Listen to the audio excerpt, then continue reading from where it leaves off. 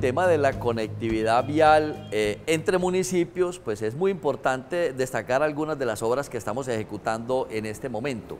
Una obra eh, que hay que destacar es la conectividad entre los valles de La Burrá y de San Nicolás. Hay una vía eh, que no tiene muy buena especificación, que es la, una conexión que hay entre Barbosa, Concepción, San Vicente, El Crucero, que comunica a Barbosa con el oriente antioqueño. Esta vía, eh, en un acuerdo, en un convenio con la gobernación de Antioquia, le vamos a hacer una intervención importante.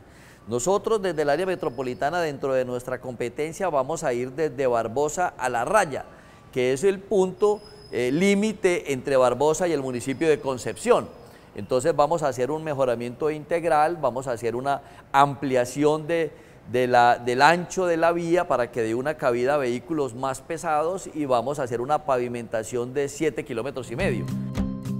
También hemos privilegiado construcción de andenes en el municipio de Girardota.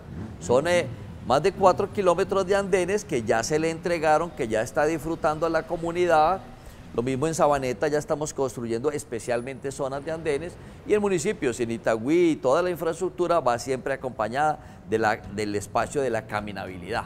En La Estrella estamos, eh, el municipio va a sacar muy próximamente una licitación para la ejecución de obras de mejoramiento con cicloinfraestructura y con andenes en la zona del parque. Estamos haciendo una apuesta importante por construir 120 kilómetros de cicloinfraestructura y de andenes y de conectividad ecológica para la comunidad. La vía transversal de la montaña en Envigado es otra vía de conexión, pues en Medellín, Envigado, que también estamos ejecutando. Eh, estamos haciendo los diseños de la conexión eh, Medellín-Bello por la carrera 65 de Medellín sobre la quebrada La Madera. Estas son las obras realmente que tenemos de, conectividad entre municipios.